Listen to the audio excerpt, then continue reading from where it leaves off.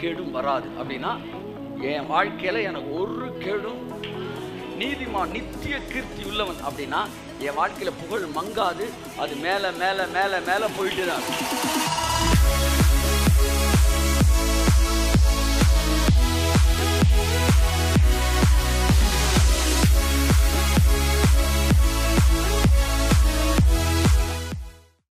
தேவன் என் கூட பேசணும் அப்படின்னு நீங்கள் சொல்லி நீங்கள் பைபிளை வாசிக்கும் தேவன் உங்கள்கிட்ட பேசுகிறாரு அந்த தப்பே கிடையாது. இல்லைன்னு நான் சொல்லலை. ஆனால் பைபிளில் நீதிமான்களுக்கென்று எழுதப்பட்டிருக்கிற ஒவ்வொரு விஷயமே உங்களுக்காக எழுதப்பட்டது தான் முதலாவது நான் சொல்லிட்டு போக விரும்புகிறேன் உங்கள் வாழ்க்கை எப்படி இருக்கணும்? இன்னைக்கு பார்த்தோம். எல்லாம் நன்றாக இருந்ததுன்னு சொன்னார்ல அதுதான் என் வாழ்க்கை. அதை தாண்டி எதுவுமே என் வாழ்க்கைக்கு சம்பந்தம் இல்லாதது. இந்த வார்த்தை கேட்கும்போது உங்களுக்குள்ள ஒரு விசுவாசம் வருது பார்த்தீங்களா அதுதான் தேவன் தூக்குற விசுவாசம். இப்போ நீதிமான் நீதிமானுக்கு ஒரு கேடும் வராது பைபிள் சொல்லுது. நீதிமானுக்கு ஒரு கேடும் வராது. அவருடைய ரத்தத்தினாலே இலவசமாய் கிருபையினாலே நீங்கள் நீதிமான்கள் ஆக்கப்பட்டீர்கள். அப்போ உங்களுக்கு ஒரு கேடும் வராது. இந்த இடத்துல தனிப்பட்ட முறையில் ஏன் பேரை சொல்ல வேண்டிய அவசியம் தேவனுக்கு இல்லை. அழகா பவுல் சொன்னார் ஒரு வார்த்தை.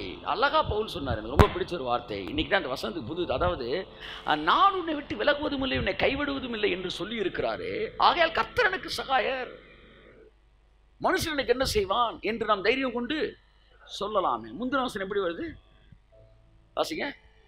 நான் உன்னை விட்டு விலகுவதும் இல்லை. நான் உன்னை விட்டு விலகுவதும் இல்லை. அடுத்து. உன்னை கைவிடுவதும் இல்லை என்று உன்னை கைவிடுவதும் இல்லை என்று அவர் சொல்லி இருக்கிறாரே அவர் சொன்னாரே. சொல்லி இருக்கிறாரே அவர் சொன்னாரே. பவுல் என்கிட்ட சொன்னாருன்னு சொல்லல. அவர் ஏற்கனவே சொல்லி இருக்காரு எனக்கு ஸ்பெசிபிக்கா பவுல் பேசினார் நீங்க? சொல்லல. நேத்து நைட் என்கிட்ட சொன்னாரே அப்படி சொல்லல. அவர் ஏற்கனவே பைபிள்ல சொல்லி இருக்கிறாரே ஆகையால் நாம் சொல்லலாமே. கையை தட்டு there is no any need of specific promise. நேத்து காலையில் நான் ஜோம் பண்ணும்போது கர்த்தர் என்கிட்ட சொன்னாரு நீதிமான்கள்னு பேர் வந்தாலே அது உனக்கு சொந்தம்டா. இதுக்கு நான் தனியா வந்து உன்கிட்ட சொல்ல வேண்டிய அவசியம் இல்லை என்பதை இப்போ நான் தனியாக வந்து ஒன்றை நான் சொல்கிறேன் அப்படின்னாரு. சொல்கிற புரியுதா உங்களுக்கு? நான் எப்போவுமே தனியாக பேசுறதா நம்புறவன். என்னதான் பைபிள் இருந்தாலும் ஏன்ட்டு அவர் பேசணும்னு நான் ரொம்ப விரும்புவேன். ஒரு நாலு வாரத்துக்கு முன்னாடி நான் பேசின வார்த்தையை கேட்டிங்கன்னா விசுவாசம் நம்பப்படுகிற உறுதின்னு பேசும்போது ஸ்போக்கன் வேர்டு வேணும்யா? தேவன் உனக்குன்னு பேசணுயா அப்படின்னு சொன்னேன். தேவன் நேற்று வந்து எனக்குன்னு பேசினார். எனக்குன்னு பேசி என்ன சொன்னார்னா இனிமேல் உனக்குன்னு பேசினதே உனக்கு கிடையாது. நீதிமான் வந்தாலே உனக்கு தான். அப்படின்னு பேசிட்டாரு. அதை எனக்கு எனக்குன்னு பேசுறனால எனக்கு எனக்குன்னு பேசாத எல்லாமே எனக்குன்றது எனக்கு இப்போ தெளிவாக இருக்கேன். ஏன்னா அது எனக்குன்னு சொல்லிட்டாரு. கைத்தர் புரியுதா உங்களுக்கு?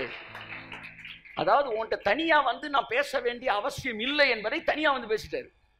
அதனால ஸ்ட்ராங்காக நம்பலாம். இனிமேல் தனியாக வந்து அவர் பேச வேண்டிய அவசியம் இல்லை. நீதிமான்னு ஒன்று சொல்லிட்டாருன்னா அது உனக்கும் எனக்கும் தான். நீதிமானுக்கு ஒரு கேடும்.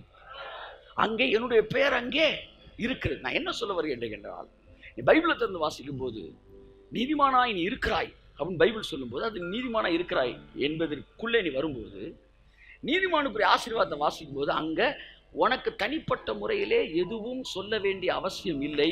உன் வாழ்க்கை எப்படி டிசைன் பண்ணப்படும்னா அந்த வசனத்தின்படி தான் டிசைன் பண்ண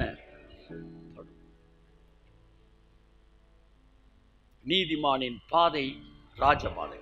அப்படின்னு என்ன அர்த்தம்னா என் பாதை ராஜ பாதை நீதிமானுக்கு ஒரு கேடும் வராது. அப்படின்னா என் வாழ்க்கையில் எனக்கு ஒரு கேடும். நீதிமான் நித்திய கீர்த்தி உள்ளவன் அப்படின்னா என் வாழ்க்கையில் புகழ் மங்காது. அது மேலே மேலே மேலே மேலே போயிட்டு தான் நீதிமானின் சந்ததி பெயர் பெற்று விளங்கும் அப்படின்னா அதுக்கு அர்த்தம் என் பிள்ளை என் பிள்ளைகளின் பிள்ளைகள் பெயர் பெற்று விளங்குவார்கள். அவர்கள் பலத்திருப்பார்கள். அவர்கள் சத்துருக்கள் ஒளிமுக வாசலில் பேசுவார்கள்.